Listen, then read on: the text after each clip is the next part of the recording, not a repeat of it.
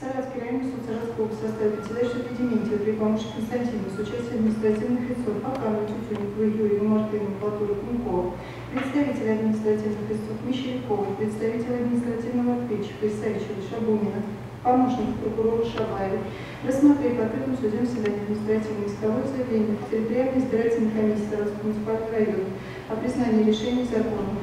На основании изложенного руководства нормы 175, 179, 180, 244 приказ РФ суд решил удовлетворение административных исковых требований территориальной избирательной комиссии муниципального района о признании решений закона отказать. Решение в окончательной форме будет изготовлено 28 июля 2021 года. Решение суда может быть обжаловано в апелляционном порядке Саратовский областной суд через Саратовский районный суд Саратовской области течение одного месяца дня изготовления решения в окончательной форме. Сегодня нам отказали в регистрации инициативной группы. По мнению судьи, ну, это законно. По нашему мнению, нет. Мы, естественно, будем апеллировать, потому что э, отка- отказ м, обосно- основан на просроченных э, сроках регистрации. То есть э, получается так, что мы подали заявление, э, уже сроки прошли для подачи заявления в суд. Такая есть госпожа Исачева, председатель избирательной комиссии.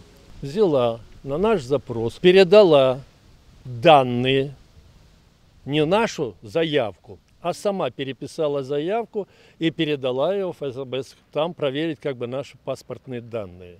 Но, как они потом объяснили, и как судья принял это почему-то к сведению, произошел сбой. Сбой почему-то электроники, то ли что-то. И вдруг неправильные данные оказались в этой заявке.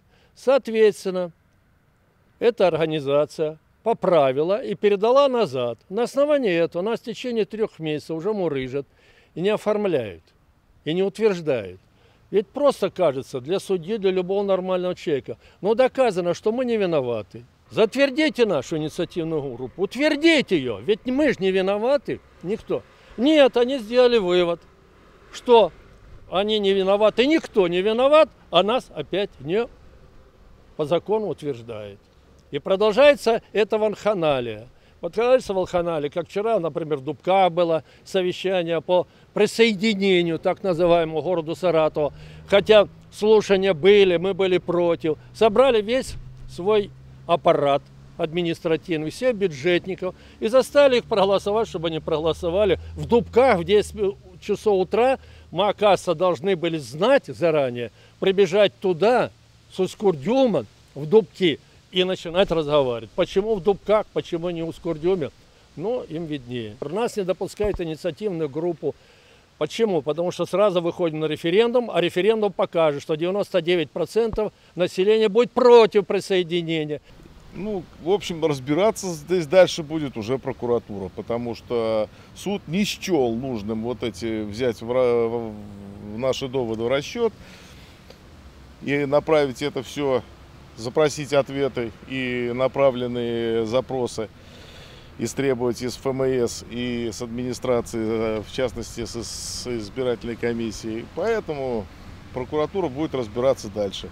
Как она будет разбираться, это нам пока неизвестно. То есть вы собираетесь заявление в прокуратуру писать? Оно уже написано и уже идет расследование по этому делу. В частности, э, уже некоторые члены нашей группы, которые вот искажение как данных, кото- которых было обозначено, им уже пришли э, ответы с прокуратуры о том, что дела направлены в суд, и там будут уже суд будет решать, возбуждать уголовные дела или не возбуждать.